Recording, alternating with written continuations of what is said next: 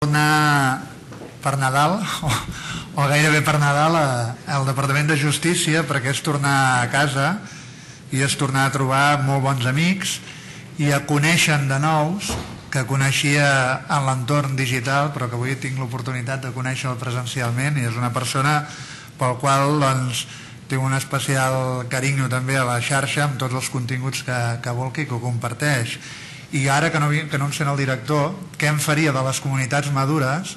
És la gran assignatura pendent, però no per vosaltres, sinó per nosaltres, com a conjunt d'institució.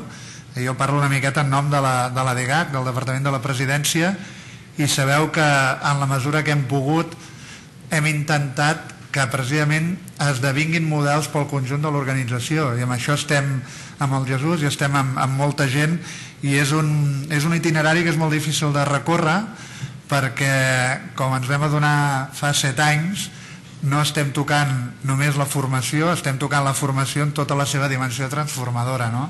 estem tocant l'organització i ens hi juguem moltíssimes coses i per tant jo sóc un convençut que el que hauríem de fer amb les comunitats madures és posar-les dalt d'un pedestal o sense pedestal però que serveixin d'exemple i de, de catalitzador pel, pel conjunt de l'organització.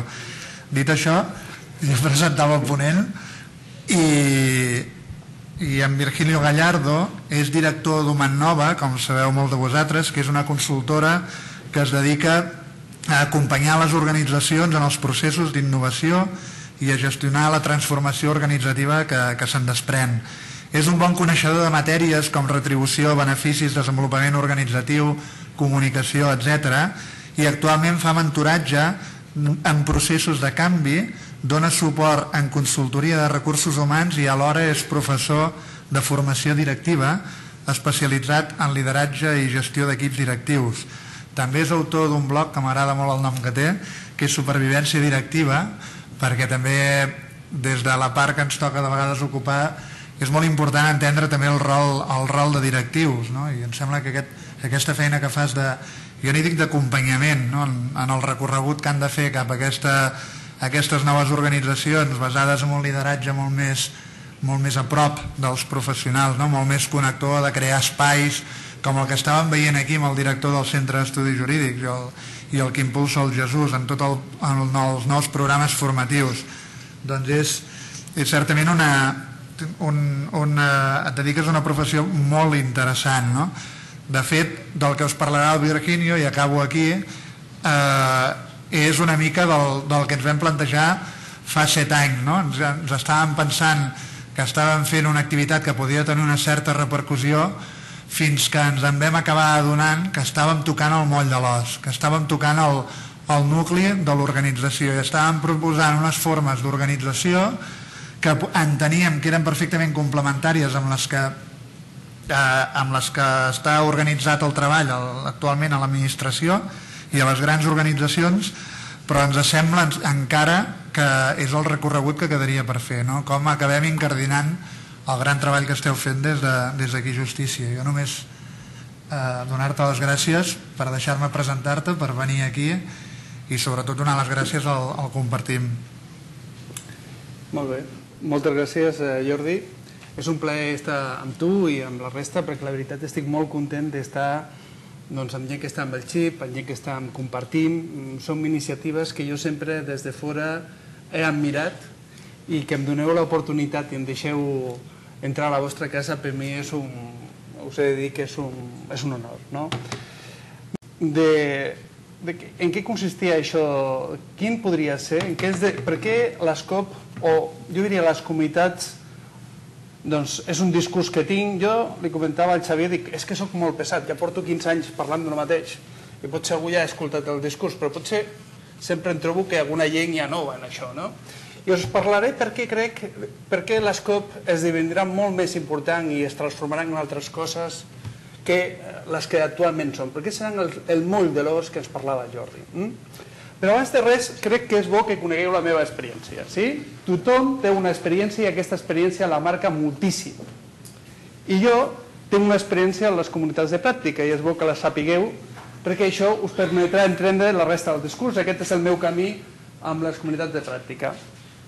Jo la veritat és que era un estudiant ja, fa molt de temps d'això, eh? fa més de 25 anys, que havia estat a Creu Roja, a Splice i coses així, em va dir, escolta, Virgini, no t'interessa treballar, era un psicòleg, eh? Dic, no t'interessa treballar i guanyar calés, dic, això m'interessa molt. I la, meva, I la meva primera experiència, sabeu on va ser? Va ser a l'Alcina. Eh? Va ser a l'Alcina. Els que coneixeu la casa sabeu que fa 25 anys l'Alcina era un lloc molt especial. Deixem-ho així, era un lloc molt complex. Eh? I us he de dir que allí va començar la meva primera experiència laboral, a l'Alcina? Com a psicòleg. Jo, la veritat, és que vaig descobrir que com a psicòleg no sap res, això és molt interessant, però deixeu-me que, us, que us parli de les dues primeres... Vaig estar dos estius, després vaig estar un altre, un altre lloc i em vaig trobar companys que estaven molt a prop meu, que eren molt simpàtics, la veritat és que em portava molt bé amb el subdirector de, de l'Alcina de llavors i, i, i jo diria que estava en un entorn molt maco, però si voleu que us digui la veritat em sentia profundament sol, sí, com a professional, perquè allò era massa dur per mi, era massa complexa, les condicions de l'Alcina llavors eren els dos pitjors anys de l'Alcina, els que coneixeu l'Alcina i, el, i la justícia juvenil, ja us podeu imaginar de què estic parlant, i el tema és que era un entorn massa dur i era un entorn per mi molt, molt complex. I em sentia sol, malgrat tenia perfectes companys, molt bons companys, perquè no podia reflexionar sobre el que estava fent, tenia dubtes sobre el que fèiem, sobre el que feia justícia, i és curiós, perquè tenim bons companys, dius, ostres, com et pots sentir sol, no? Però jo vaig acabar psicologia, vaig fer... Estava fent ciències de l'administració pública i vaig fer un MBA a SADE, també també de l'administració pública, i vaig entrar a treballar a una multinacional de consultoria, sí? I ho poso la, el, el puntet ben petit perquè dieu com em sentia jo en aquella multinacional quan vaig arribar, sí? Em van dir, Virginie, diu, tu ets responsable de RRH, de Human Capital, a nivell mundial, estàs a la comunitat de Human Capital, i a més a més estàs en una cosa que jo mai havia escoltat, dit Organizational Design and Development, perdoneu, el meu anglès no ha millorat mai des de... Eh, llavors no era bo, continua sent molt dolent, no? però jo era Organizational Design... I no em van dir, tu estàs a Barcelona o estàs a Madrid, no, no, jo estava dins d'una gran comunitat que es deia Change Management, dins d'una comunitat que es deia Human Capital i dins d'una comunitat que es deia ODD. Sí? ODD, Human Capital, eren les dos, els dos meus skills tracks. I jo pensava, dic, això, perdoneu, jo esperava com a justícia estar en un lloc, tenir uns companys, no? un jefe, no, no, tu ets membre d'una comunitat. Dic, bé, molt bé, i quants hi ha a Espanya? Dic, mira, hi ha tres. Dic, ostres, tres? Sí, tots estan a Madrid, estàs tu, eh? Això, Human Capital, i ODD tenia un altre company a Barcelona que pràcticament mai vaig veure. Sí? Llavors nosaltres fèiem projectes de gestió del canvi, sí? projectes de transformació organitzativa, fa, estic parlant ja fa 20 anys, i us he de dir una cosa, curiosament mai em vaig sentir sol. I no vaig veure els meus companys. Per què? Perquè estava en una COP, estava en una comunitat de pràctica. Sí? Desenvolupaven coneixement molt especialitzat, compartien hi havia experiències pràctiques, un, un interès comú sobre alguns temes, podíem aprofundir a través, a través d'una interacció continuada buscant potenciar l'aprenentatge i us asseguro que jo, mm, si em demaneu, Virgini, tu quants anys et vas passar? Sí, set anys, el que sigui. I allà què vas fer? On vas estar? Jo estava a la comunitat de ODD, Organizational Design and Development, i a la, a la comunitat de Change Management. Sí, estava a dos comunitats. Estem parlant de fa 20 anys. Sí? Us he de dir una cosa. Sempre, sempre em vaig sentir acompanyat. Però mai, i he posat la mà perquè mai vaig veure la cara dels que me sentia acompanyat, eh? Sentia acompanyat, però sentia acompanyat a la distància, sí? En gent que estava a Chicago, a Filadèlfia, a Turquia, a Estats Units, sí? I jo vaig construir, jo sol, en un entorn també que jo estava a una organització que era molt de canvi, però era molt tecnològica, i jo, i Human Capital era, com veieu, alguna cosa residual, i Organizational Design and Development també, però jo sempre em vaig sentir bé. Vaig sentir que aprenia molt, i estava pràcticament sol, i aprenia molt. I vaig passar sis anys, i de fet, el que estic parlant ara, pràcticament el podria haver parlat llavors. no he evolucionat pràcticament res com a professional durant aquests 20 anys. Aquella comunitat em va construir. Sí? Per tant, heu de saber que esteu parlant amb un forozo de les comunitats de pràctica. Sí? Algú que va ser construït per una comunitat de pràctica de gent que va, bàsicament no va conèixer. Per tant, quan parli de les seves limitacions, heu de saber que no trobareu a cap persona més impactada que jo per una comunitat de pràctica. Sí? Em sembla molt difícil, jo no els he trobat. Mm? Sis anys treballant en un entorn pràcticament virtual on els meus companys volien serveis però no tenien el coneixement i on els meus coneixements eren incompresos habitualment pels meus companys. Sí? Us he dit una cosa, una de les coses que feia ja llavors era implantar comunitats de pràctica. Sí? I home, si entenem un expert com aquell que ha comès tots els errors possibles en una àrea determinada, jo era un expert. Eh? Fa 15 anys em considero un expert de comunitats de pràctica, sí? amb una cosa que es diu Lotus Notes, que ara es diu Lotus Connection, que de fet fa dos anys a DIF van crear, jo deia, però si això està mort, i diu, no, no, és que ens agrada molt, i jo pensava, sí, encara existeix, i l'última cosa que vaig fer amb el Lotus Connection fa dos anys a Madrid, una comunitat directiva de 900 persones. Sí?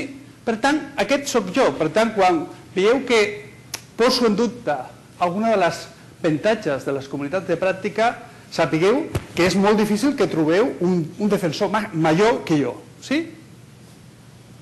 Molt bé. La veritat és que he de dir, i el veieu en primera persona, que vaig comprovar que el canvi personal que provoca al final acabava provocant canvis organitzatius. I vaig comprovar del poder transformador en la meva mateixa persona, però també en els meus companys que tenien aquestes comunitats. Però per explicar-vos per què les comunitats de pràctica esdevenen insuficients al meu parer, que això és un tema que m'agradaria compartir amb vosaltres, eh, m'agradaria que parlessin de l'entorn en el que estem. I m'agradaria parlar-vos d'una revolució que per batallar-la d'una forma li he dit organitzacions 2.0. Sí?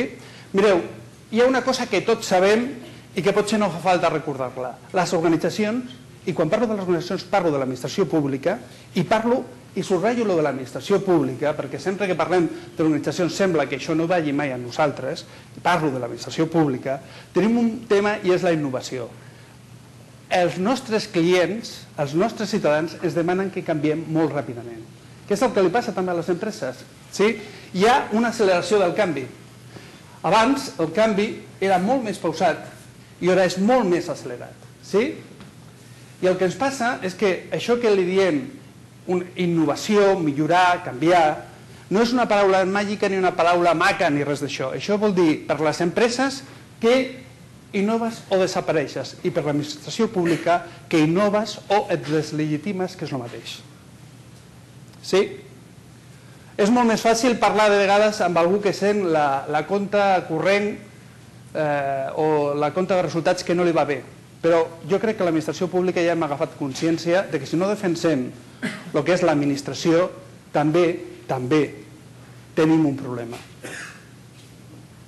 per tant, la innovació no és res maco, no és res meravellós, és o innoves o desapareixes. Aquesta és el repte que tenim. I davant d'aquest repte hi ha una revolució. I li dic silenciosa perquè, dic, home, eh, les xarxes socials estan invaint la nostra vida però ho estan invaint sense que ens adonem compte. Sí? Doncs a les, a les xarxes socials corporatives se'ls passa mateix, el mateix. Es parla de que l'organització tradicional ha mort i que ha arribat una organització 2.0. Es parla d'un management 2.0 que el que fa és connectar idees i persones. Sí? Mireu, quatre pinzellades amb el que està passant a les grans organitzacions. La primera, McKinsey. Un estudi del 2011, novembre de 2011 ara treurà el proper. 60% de les grans empreses, de les grans organitzacions, estan posant xarxes socials a les seves empreses ara estaran per 75. És una cosa que, com hem dit, és un tsunami, sí? és molt ràpid. KPMG, Going Social, és un estudi que va sortir fa 4 o 5 mesos. El que diu és que un terç de les, del que, del que s'utilitza aquesta xarxa social s'utilitza per innovació. L'altre terç ho està plantejant. Sí? O sigui, bàsicament les xarxes socials són per innovar de Business Social... Eh, això és l'últim estudi d'IBM, va sortir fa dues setmanes i el que diu és que la gent sí, utilitza les xarxes socials però no sap per què. Sí? És a dir, tenen greus problemes per saber com innovar amb les xarxes socials. Saben que han d'innovar, però tenen greus problemes. No saben agafar els temes tècnics. No saben com gestionar aquest talent. He posat Human Nova per, per, per, perquè no sortíem eh, i s'havia de posar. No, però nosaltres, per exemple, l'altre dia vaig estar a Telefònica, a una conferència. Us explico, la meva...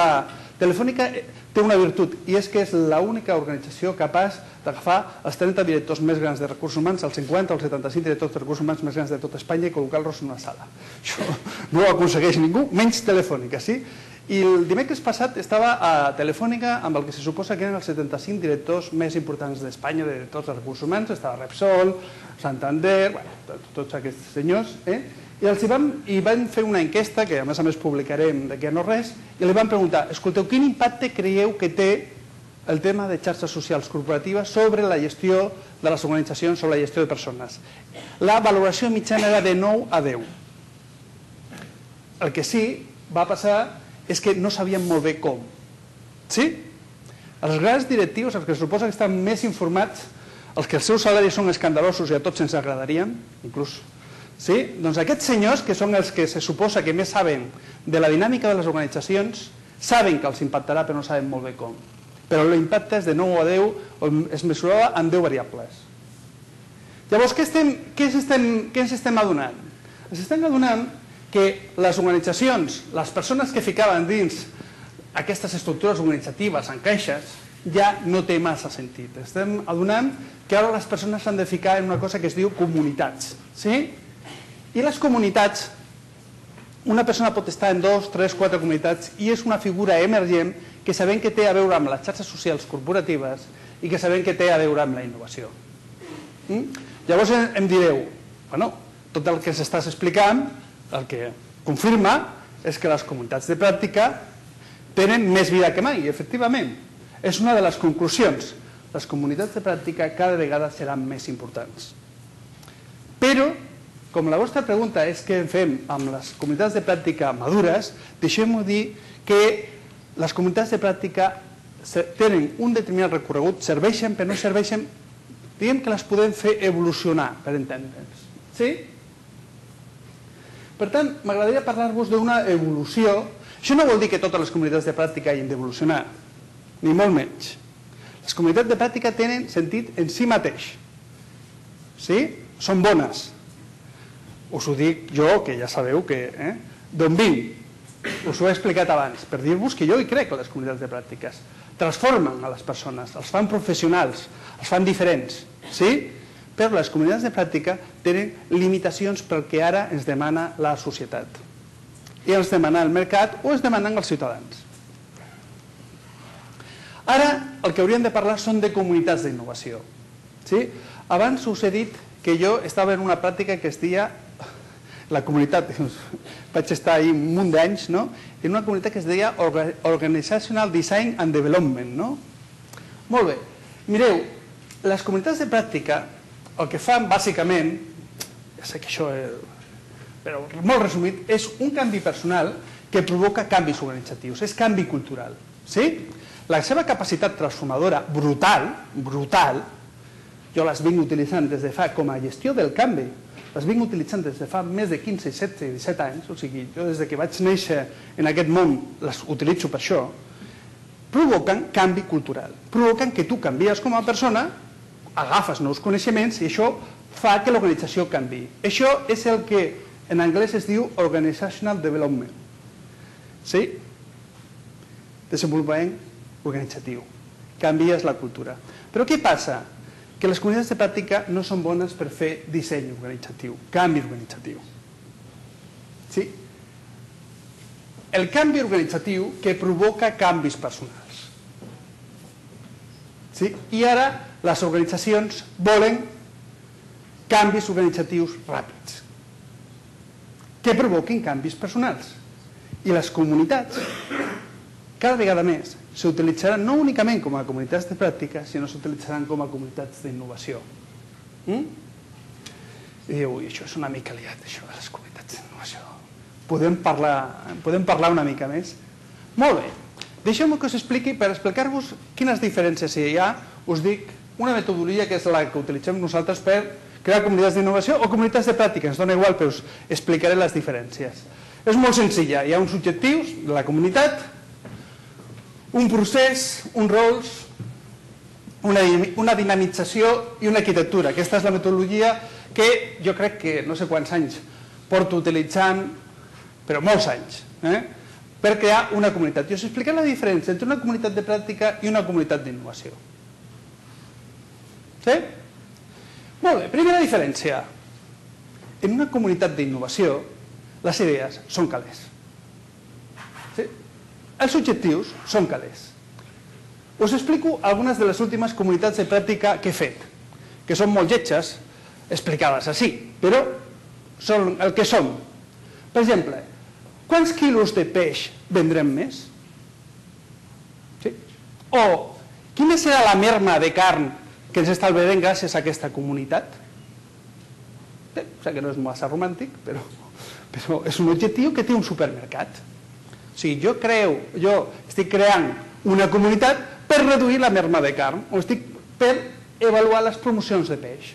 Doncs escolta, tu, i això es diu comunitat? Bueno, no sé com li podem dir, però s'assembla molt. O una altra. Fem una comunitat per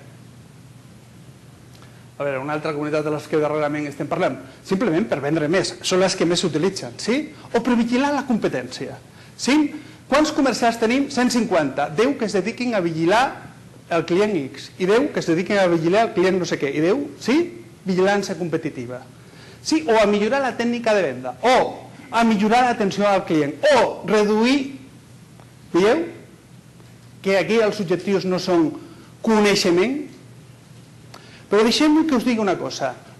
Nosaltres que hem viscut molt anys, les comunitats de pràctica sempre hem parlat del connectivisme i d'allò de les idees i els nodes, que això fa que la interacció amb hibridació, el coneixement incrementava i tot això. El connectivisme el que diu és que sobretot aprens quan allò que fas impacta l'organització i et retorna. Per tant, en una comunitat d'innovació es pot aprendre tant com una comunitat de pràctica. Us poso un exemple. No parlem de, de cap, senyalo per aquí, no parlem de cap organització financera que utilitza molt les comunitats de pràctica per la venda. No, no parlaré de cap. Però hi ha algunes que sapigueu que es passen hores i hores allà dins. Sí? Però imaginem que diem com es ven el producte X. Tenim problemes per vendre el producte financer X jo crec que si ho fem així no sé què, ah, a mi això no em serveix, jo crec que s'ha. Escolta, els clients que són bons són aquests. Ei, que ho he provat i és bo si ho fas així. Vosaltres creu que aquesta gent està aprenent o no? Sí, està aprenent. I després si algú diu, mireu, a partir d'ara el públic objectiu d'això serà aquest i aquest. Això incideix dins l'organització o canviem el producte gràcies al que m'heu dit, canviem el producte. Sí? Això, per exemple, és banca privada i això s'ha fet recentment a una, a una organització. És a dir, tu no canvies únicament el teu coneixement, canvies l'organització. Sí? Te, la teva reflexió no serveix per això, serveix per com disminuir les llistes d'espera a sanitat. Jo recordo que vam fer a l'ICS fa un temps un projecte, una, la principal regió de l'ICS, que era com reduir costos abans de que vinguessin realment les grans retallades de costos. I hem fet cinc línies estratègiques amb cinc comunitats. Us asseguro que era molt semblant al que estic parlant. Desgraciadament van venir temps on la premura no, no va deixar eh, que els professionals opinessin. Per mi una llàstima, per mi és una llàstima, perquè, creieu-me, qui sap més com millorar l'atenció al client d'un pacient o com disminuir els costos d'hospitalització o els costos de no sé què són els propis metges i si els hi demanes et donaran claus que mai arribaries d'una altra forma. Sí? Això era la forma, però va venir les presses de la... Bueno, és igual, no... Sí? Això és una de les pràctiques, comunitats de pràctiques que més m'hagués agradat i que em va deixar jo ja quan estaven allà posant-les enmig. A l'administració pública no tinc molts exemples d'això, desgraciadament. Sí? però no és perquè no ho hagi intentat. Eh? Però veieu la diferència d'objectius? Veieu la diferència? Vosaltres creieu que un comercial podria aprendre a vendre més? Sí. Podria canviar la seva concepció sobre que és un comercial? Sí. Una persona d'atenció al client, i no m'importa si està en un hospital o està una asseguradora, no m'importa, podria millorar la seva capacitat d'atendre un pacient? Sí. Sí, ho podria fer. Podria millorar llistes d'espera? Podria... Sí, ho podria fer. I aprendria? Sí. Què ens passa a l'administració pública? Però no solament a l'administració pública, sinó a les empreses. Cada vegada tenim més pressió per millorar els resultats. És així, el vulguem veure o no el vulguem veure, però és així. Llavors, tot el que sigui fer a la gent partícip d'aquests canvis serà benvingut. I això són un element ràpid, ràpid de creació de valor. I no m'importa si aquest hospital és públic o és privat. Per tant, els objectius són diferents. Les idees, sí, generen coneixement, però sobretot generen calés. Millora de satisfacció, millora de serveis, diminució de costos, reducció de temps d'espera, benchmarks, no importa.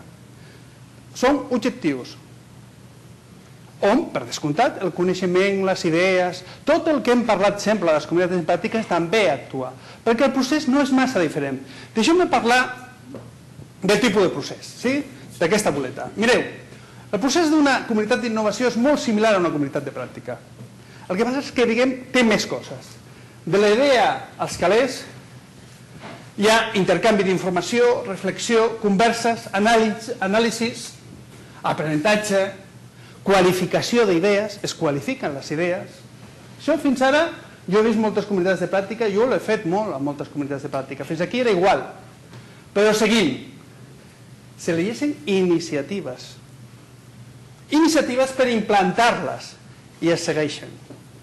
Sí, ja l'última part del procés les comunitats de pràctica i les comunitats d'innovació no és la mateixa. Següent tema.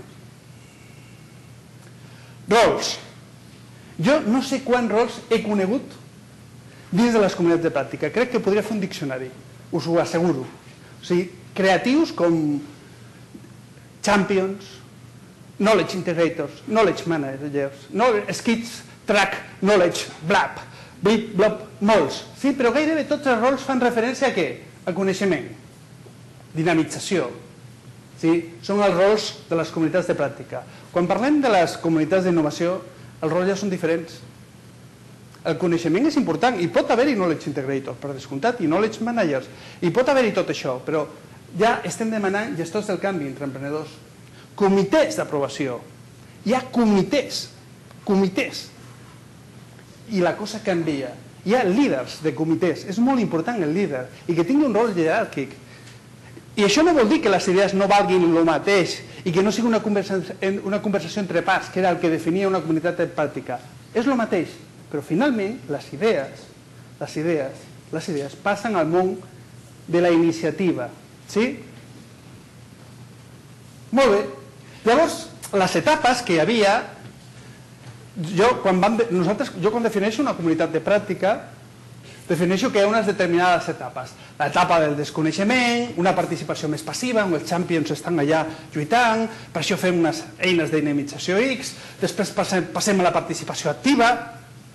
Vale, tot això segueix igual. Sí? Fins aquí diu res ha canviat, però passem a una participació contributiva, que és assegurar que els resultats realment impacten en l'organització. És una etapa diferent els rols són diferents dins de les comunitats. Més coses. La perspectiva emocional, com es dinamitza? Bueno, jo diria, es dinamitzen igual que sempre s'han dinamitzat. Eh? Reconeixement, sistemes d'indicador, transparència, formació, comunicació, els champions, els rols, tot això continua sent igual. En l'etapa 1, on la gent no participa, hi ha molts membres passius i alguns actius, després això millora, després hi ha pocs que no participen, els largues pràcticament un 15%, això és èxit, sí, però ja no ens interessa això.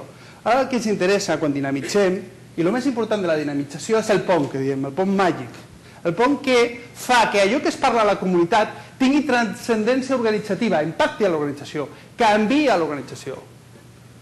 Hi ha una connexió entre la comunitat i, i l'organització i l'organigrama, perquè allà és on estan els recursos, allà on està, és on està el poder de decisió. Per tant, la dinamització és diferent. I els problemes, si és difícil una comunitat de pràctica, creiem que una comunitat d'innovació és doblement difícil. Si sempre ens ha costat molt posar en marxa comunitats de pràctica, perquè és complexa, perquè requereix, un art, jo diria, de vegades, doncs les comunitats d'innovació, deixem-ho que us digui que és doble art, eh? és encara més complexa. Molt bé, veieu que la dinamització, i després l'arquitectura tecnològica, és la mateixa? No, no és la mateixa. O sí, depèn, perquè hi ha molts tipus de comunitats Poden ser d'innovació de pràctica, més comunicatives, expertís fins aquí, habitualment són les dues de, de, de pràctica que nosaltres habitualment juguem, però després estan les col·laboratives i les sistematitzades. Llavors el microblogging, el CMS, la gestió de projectes, el DMS o l'oficina de col·laboració que té software associats, on de microblogging pots, pots agafar unes eines, les altres canvia. És a dir, no és el mateix gestionar un projecte de millora de l'atenció al client o al pacient on hi ha on ha d'haver-hi documents, hi ha d'haver un repositori de documents, hi ha procediments, i potser està intervenint un, un equip de projecte, però quan parlem de projecte és projectes que pot afectar el que estic parlant de l'ICS, que és, a mi és una llàstima que aquest projecte no em sortís perquè els, els bons projectes mai surten. Sempre estem parlant aquí de finances i tot això, eh? però la, a vegades l'administració pública hi costa entrar amb això. Doncs allà, per exemple, hi havia 150 llocs d'atenció primària. Sí, o sigui, cent, clar, hi havia... Clar, 150 llocs d'atenció primària, això és una gran comunitat, però allò era ficar, allà hi havia documents, hi havia repositoris, hi havia gent que manegava tot això. El software no sempre... CMS pràcticament són obligatori, els Content Management System, és a dir, canvia una mica, ah, no entrarem exactament en quin tipus, inclús els CMS, la gestió documental pot canviar. Vale? Heu de saber que tot el, el fresco, el fresco, el documentum, tot, el filenet, tot aquests estan apostant fa molt temps, fa 3 anys, pels temes d'eines 2.0, perquè la e-administration és el seu gran negoci. Sí? I posen eines 2.0, o sigui, ja estan preparats per això. Per tant, les eines no són les mateixes, són una mica, els foros ja no basten, són una mica més complexes. Ja necessitem més repositoris de gestió de coneixement, que això algunes comunitats de pràctica ja el tenien, però ja tenem altres eines més col·laboratives. Sí, estem canviant. Veieu que la part tecnològica... Sí? Per tant, les comunitats d'innovació són una mica diferents. La dificultat bàsica és la de sempre, és que un munt de gent vulgui col·laborar per una cosa. Això és, és cert, sí? Això és la complexitat. És eh, aquest espírit de generositat tan difícil d'obtindre l'organització. Això ningú t'ho canviarà. Però veieu que són, tenen una natura diferent. No us he parlat de, de la complexitat màxima que tenen aquestes coses. Mireu, jo crec que no sé quants anys porto fent aquest tipus de coses, tant comunitats de pràctica com una altra, però porto molts, ja veieu. Tinc una, tinc una infància professional estranya, eh? vaig crear una d'elles i, de, i gestió del canvi i sempre he portat coses d'aquest tipus. A mi la dificultat quan parlo, avui he parlat amb una asseguradora, per exemple, per implantar això, estava molt interessat sense saber si era Yammer o era no sé què, Syncro o no sé què, tal. Però jo deia, aquesta gent no s'assabenta no del problema que té. El problema és un problema cultural. Sí? És una revolució. És una revolució. I és un problema cultural. Molt, molt bèstia, molt bèstia. Mm? S'ha de crear un nou paradigma cultural on la gent no solament, si ja era difícil que participessin en temes de, gestió del coneixement i que opinessin i tinguessin foros, ja no dic res en reorganitzar, perquè estem parlant de reorganitzar o modificar l'organització. Sí? Cosa que, com sabeu, això són coses de, de jefes, de jef.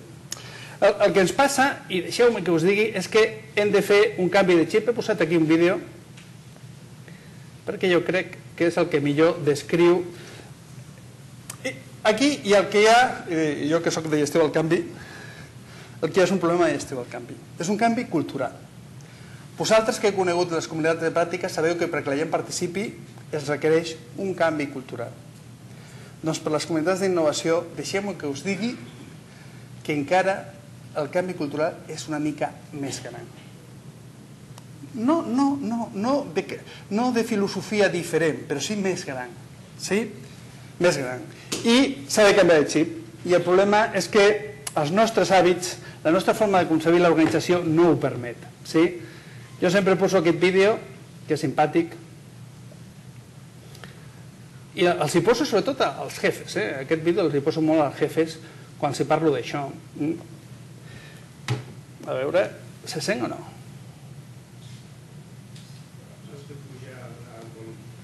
Pujo el volum, pujo una altra vegada el volum, dos cops pujant el volum, però no se sent massa. Bueno, sabeu que les... les... No, importa, no importa. No, no, no, no passa res.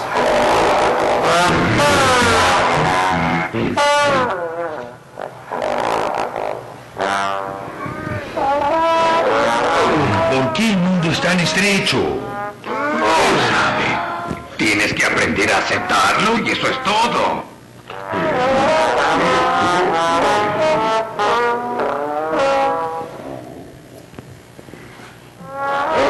Quédate quieto. Estoy incómodo. Por más que pelees, no llegarás a ningún sitio.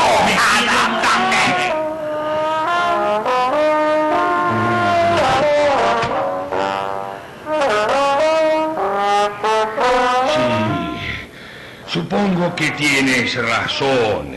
Mi infelicidad es mi propio esfuerzo. Por supuesto, el problema no es el mundo, eres tú.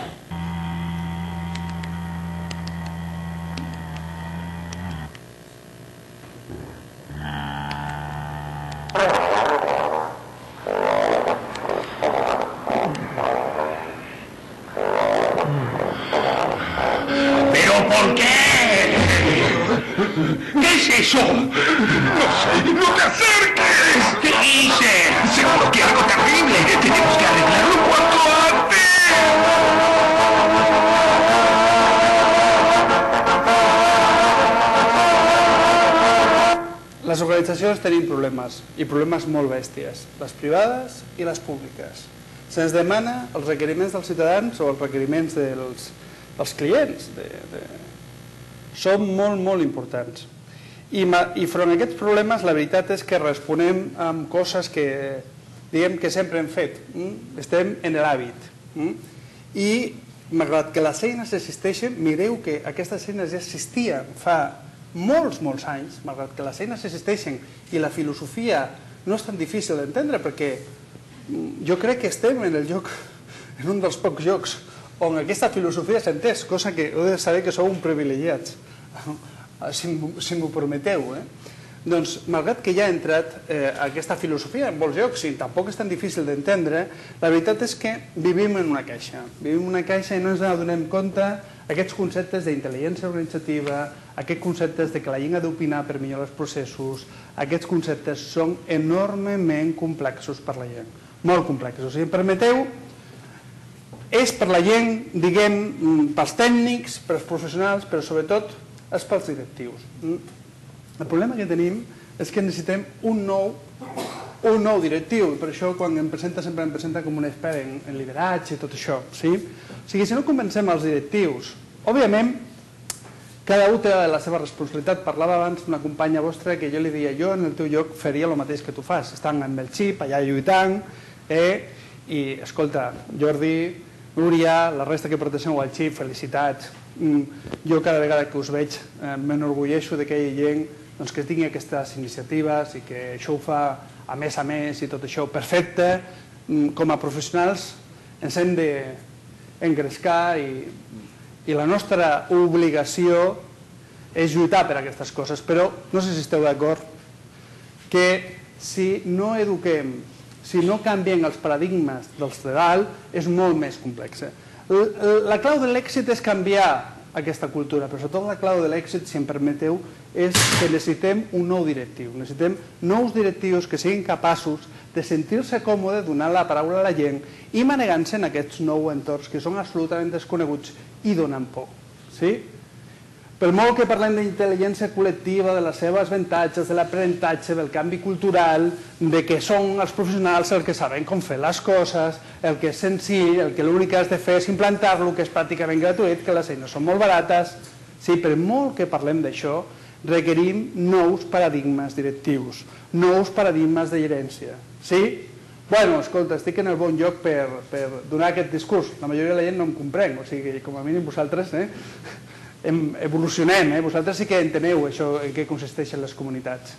Bueno, doncs res, doncs tots, entre tots, vosaltres, els que estem fora, tots tenim aquesta responsabilitat de fer les organitzacions en les que estem molt millor i de comptar amb la intel·ligència de la gent, no solament per aprendre com a professionals, sinó per impulsar la innovació i la millora de les nostres organitzacions. Doncs molt bé, espero que el discurs us sigui útil i que us ajudi a pensar en què podeu fer amb aquestes comunitats de pràctica madures i bueno, que com a mínim sigui una mica... El, el Jesús em va dir, sigues una mica provocador. Dic, bueno, no, no ho necessito, jo ja sóc així de mena, eh? ja vaig néixer així. Eh? Molt bé, doncs moltes gràcies. No sé si tenia alguna... Esperem que hagi sigut prou provocador perquè hi hagin preguntes. El Jesús em diu que obrim uns minuts de, de debat. Aviam si, si voleu formular alguna pregunta. Si no en surt cap, preguntarem nosaltres, eh? A vosaltres. Alguna pregunta?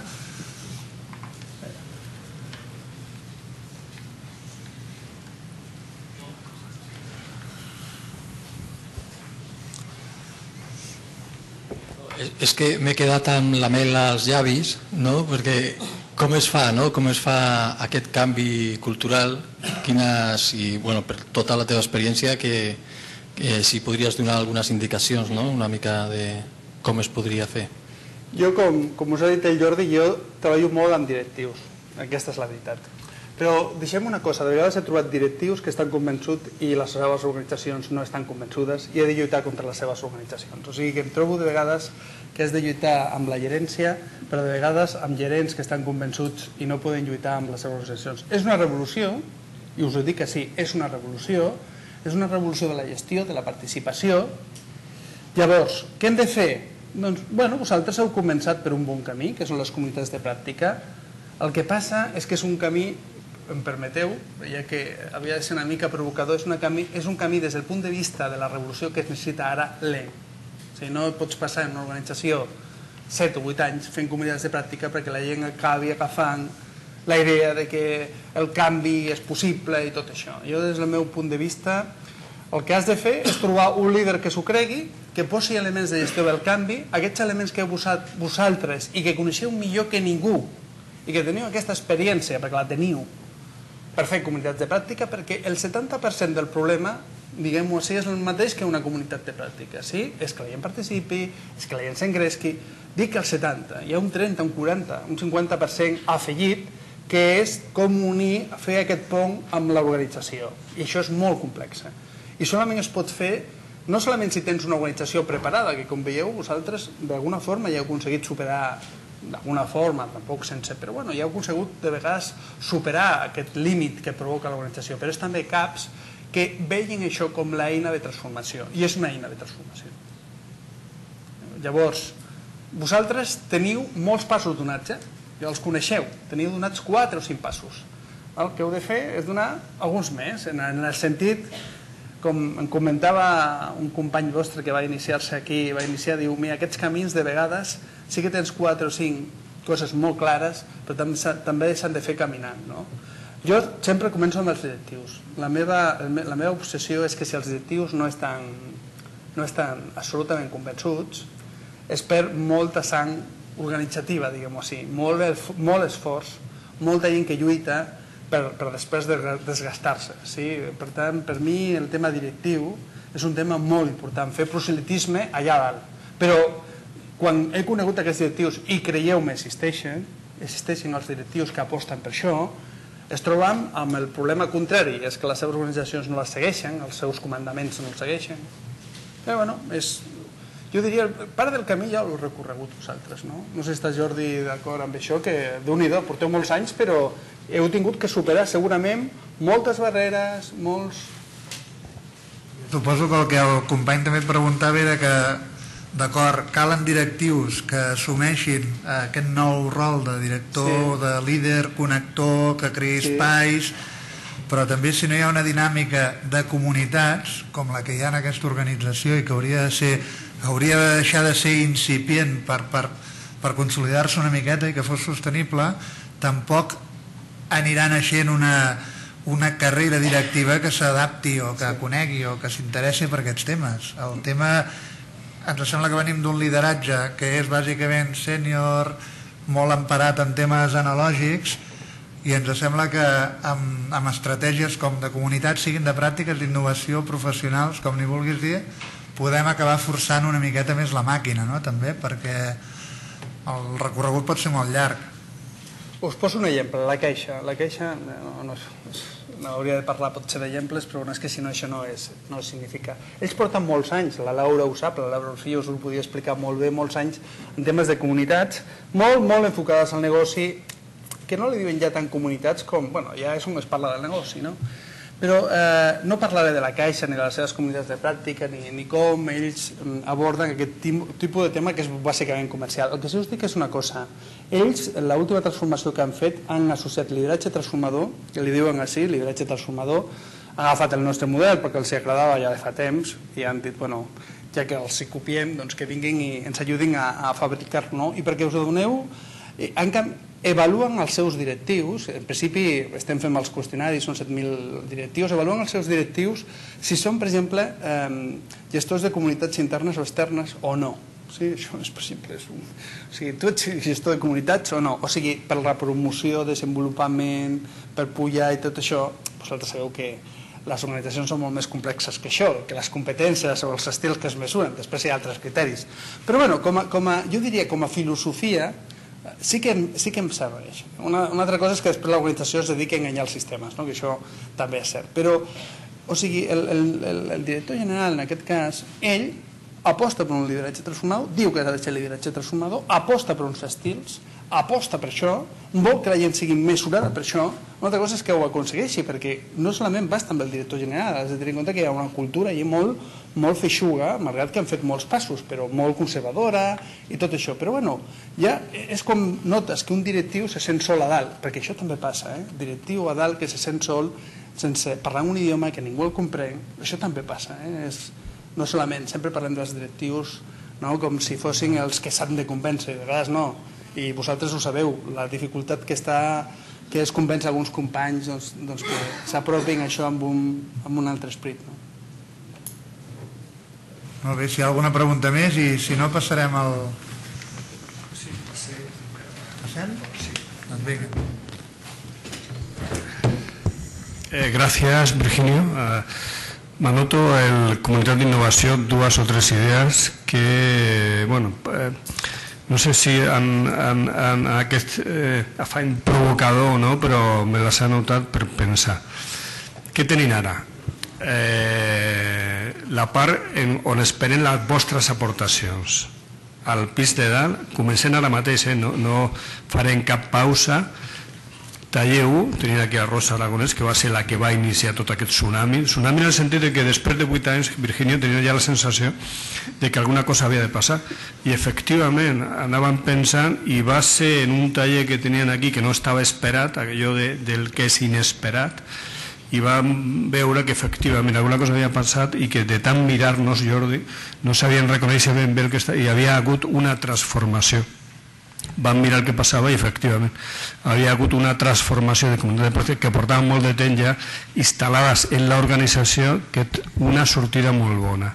Aquest és el taller 1 el taller 2 que jo me l'estimo més i jo me l'he demanat assistir-hi perquè és n'aprendre de l'error i de les equivocacions als millors moderadors del programa en diferència i que no sé i que ningú se'n doni per al·ludit en la eh, eh, la, el no, la no possibilitat de tirar endavant la comunitat per moltes barreres.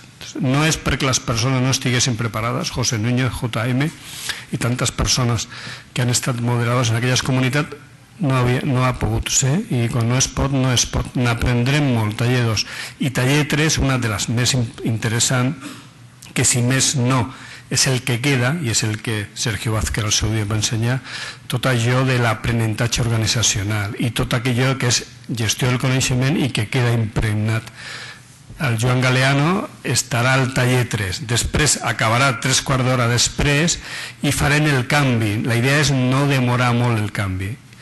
Farem el taller 4, que jo també me l'havia demanat per assistir-hi, però jo crec que serà eh, la, la part que valdrà la pena assistir. L'hem dit mitosi, Julio Fino després ha dit, no, mitosi no, fractal, no sé ben bé Julio què volies dir en això de fractal, és quan passen coses dins de l'organització que no t'esperes i que responen més a lògiques de caos que no passa a lògiques de l'organització planificada. Eh, són temes interessants. Susana Gràcia, eh, Julio Fino, en l'ajut impagable, gràcies Dani, perquè el que ha fet a la, a la, no me'n recordo mai el nom de la seva, de la, de, de la seva institució, va canviant a salut, eh? Eh, també és una, un tema molt interessant per reflexionar-hi. Podria ser també una salida molt bona per assistir-hi taller 4. El taller 5 és el que hem dit les comunitats ortodoxes i n'hi ha de comunitat ortodoxa i es venen mantenint i la passió que es veu en els, les persones que s'han trobat en aquesta interacció afavoridora de creixement personal, de creixement organitzatiu després és superinteressant monitors artístics i monitors esportius i molt, moltes més per aquí serà. I l'última que és el que jo connecto, Virginia, en el que has dit de comunitat d'innovació, és una mena de eh, eh, itineraris que han estat vinculats, vinculat més a peticions de directius. Jo vull reflexionar sobre això jo, i al final s'han acomodat en una mena d'interacció. No estaven pensades les comunitats per respondre a pedidos eh, eh, específics, però al final s'han acomodat i n'hi ha un ampli ventall. Potser d'aquesta manera també legitimem aquesta nova via de ser més pràctic i d'estar connectat més el que tu deies, Calé. Pues, efectivament, més en el negoci, per què no? Per què no poden estar? No l'hem buscat tampoc, però ha sortit així. A la qual cosa jo no eh, s'ho entretinc més, eh, ja donem pas a, a, a la sortida i, la idea és començar de seguida. El moderador, el, eh, i el, el, el que porta el tema ja té, té preparat en el seu, en el seu espai la, la, el projector i l'ordinador i la idea és començar de seguida. Tres quarts d'hora fent el canvi i continuant el seu. Gràcies.